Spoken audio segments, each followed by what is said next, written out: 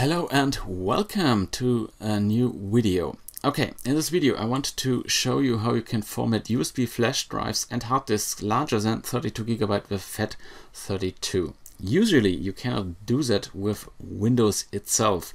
So I have connected here um, a 64 gigabyte thumb drive to my computer and if I do a left click, a right click here and select format, sorry, it's my Windows is German here, and you want to select a file system in the dialog, you only can select NTFS or exFAT. FAT32 will only show, show up for smaller USB drives and hard disks.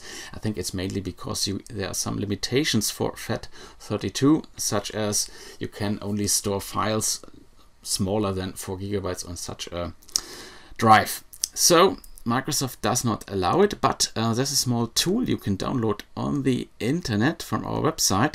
So just click the link below in the video description and there is GUI format exe for Windows.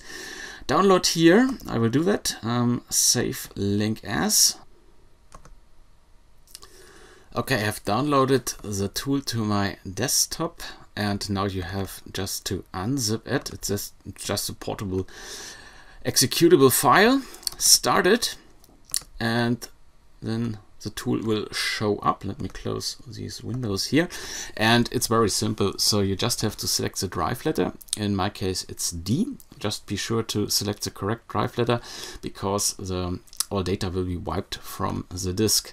You can set a volume label and you can also select quick format, yes or no. I would select quick format because it's otherwise a slow fully pain a painfully slow process. Okay, just hit the start button and hit OK. And well, that's it. Um, it's now formatted with FAT32. Uh, if I have a look into the Explorer, let's go to um, my PC and now right click and go to the properties and now you can see it's formatted as FAT32. So that's it. That's how you can format drives larger than 32 gigabytes in Windows with FAT32.